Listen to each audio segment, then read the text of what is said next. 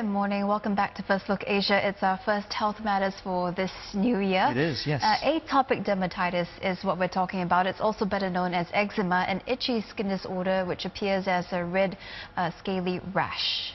It affects 2 to 5% of young children worldwide, and 1 in 5 Mm. people in Singapore have it, which includes 20% of school-going children. Well, eczema can of course occur at any age, but today we're going to focus on young children and we have with us Dr. Teo Wan Lin. She is a specialist in dermatology and consultant at Raffles Skin and Aesthetics. Uh, Happy New Year, Doctor. Thanks for joining Happy us New today. Year. Good morning. First up, for parents with babies, uh, what signs should they be looking out for for the onset of eczema? Well, eczema typically starts as an itchy, dry skin condition in the first year of life or later, and parents may notice red, scaly patches occurring on areas such as the scalp, on the face, especially the cheeks, um, the body, the arms and the legs, the elbows and the knees are common areas. Um, parents may also notice that their child is rubbing themselves against bedding um, to relieve themselves of the itch, and this can be very severe. It will disturb sleep at night. Is this related to nappy rash at all?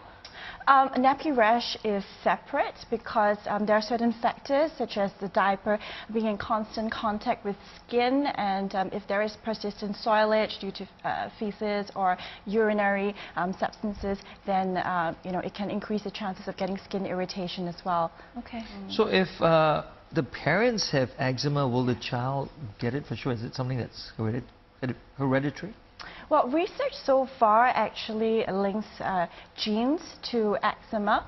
Um, and uh, if one or both parents have eczema, asthma, or allergic rhinitis, the child is also more likely to develop any one of these three. Okay, so what generally causes eczema in babies and in uh, younger children as well?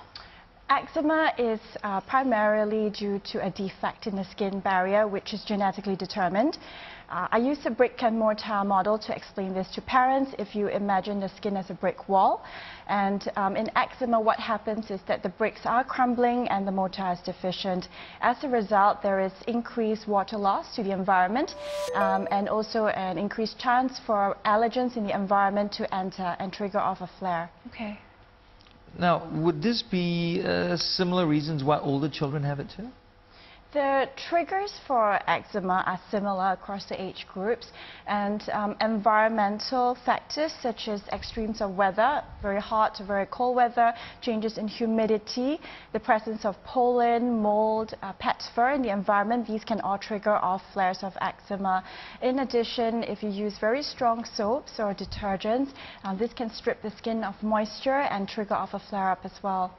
What about food and allergies, doctor? Are these always linked? Foods do not cause eczema. However, there are some studies which seem to suggest that younger children, especially uh, below the age of four, may find that uh, food allergy worsens eczema. It is important to discuss this with your child's dermatologist before excluding foods from your child's diet because um, overall children need a balanced diet for nutrition. Okay, so it doesn't cause eczema, but certain foods can aggravate the eczema, Um, for example? Mhm. So in children with established food allergies, that is. So if you don't have a food allergy, the food it will not worsen your Okay. eczema. Uh, what are the common foods then? Well, uh, peanuts, soy milk, these, uh, if you are truly allergic to it, then uh, it can trigger off a flare in, ex- Okay. uh, in somebody with existing eczema. Yeah. What What are some of the main things you would tell a child not to do if they have eczema? You know, scratching is obviously, it, it's it's an itch you want to scratch all the time, and it's it's hard to prevent it. So, what do you tell a child who's dying to scratch? Well, to be honest, it's very hard to tell someone who's feeling itchy not to scratch. Uh, I have some tips for my patients. For example, I tell them to pat their skin instead of uh, rubbing or scratching it. In addition, they can put moisturizer instead of scratching. Um, if they refrigerate their creams, the cooling sensation can Ah, help yes. to distract them from the itch as well. And some people use wet wraps as well. Does that work? So uh, when topical steroids and moisturizers alone don't work, then we have to, um, you know, start intensive topical therapy in the form of wet wraps, as you rightly pointed out. Um, but there are also other treatment options available, such as phototherapy, shock courses of oral steroids, and immunosuppressants. But these tend to be reserved for more severe cases of eczema. How about clothing? You know, what you wear too. Is that a factor? You know, that could aggravate your eczema? Um, I recommend light, breathable, natural materials. So cotton is a good option.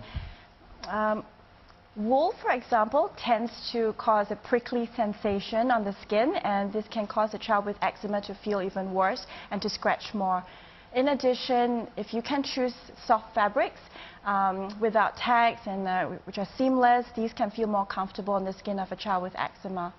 Okay, and when kids have eczema, it's, it can be itchy, sensitive, and it's painful as well. So when you want to shower your child or take them to have a mm-hmm. bath, what should you do? It's best to go uh, for soap-free cleansers during a flare-up, and by this there are um, several therapeutic cleansers uh, in the market which you can uh, go for, bath oils especially. Um, it's important to avoid sodium lauryl sulfate, which is a common lathering agent present in soaps, as this can irritate and dry the skin even more. Also, avoid abrasive materials such as um, loofahs or washcloths, and um, keep the showers short. Use lukewarm water rather than hot water. Okay. And uh, pat the skin dry with a soft towel and apply moisturizer liberally when the skin is slightly damp. And um, what about shampoo, doctor? Uh, shampoo in a child with eczema uh, can potentially worsen the eczema, especially if it's on the scalp as well. So go for a gentle shampoo. When do you decide that it's, it's reached a situation for a parent to go and see a, a dermatologist? Um, I would say when the itch gets severe enough that it disturbs their activities of daily living, and um, if there is a change in the state of the skin. So if typically they're managing quite well with just moisturizers and then a flare-up occurs, um, the skin when it gets infected, for example, can appear slightly red, there can be pus, um, there can be oozing coming from the skin. Uh, if the child is unwell as well, it's important to seek medical attention immediately. Okay, doctor, very quickly, um, what are the side effects of steroid treatments? Topical steroids are important for reducing inflammation in eczema. However, if they're used inappropriately, uh, they can cause skin thinning, which is cosmetically disfiguring.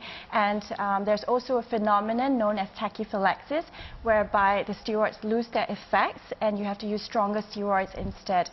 Uh, however, if you are um, getting your eczema treated by a qualified medical professional, um, the correct dose, potency, duration, and class of steroid will be given that's appropriate to your child's um, eczema depending on the location, your child's age group, um, as well as the severity of eczema. All right. Thank you very much, doctor. Such a pleasure having you, our first guest this year. 2016. Thank you. It's my pleasure as well. And that was Dr. Teo Wan Lin uh, with some great advice for those of you who have kids with eczema.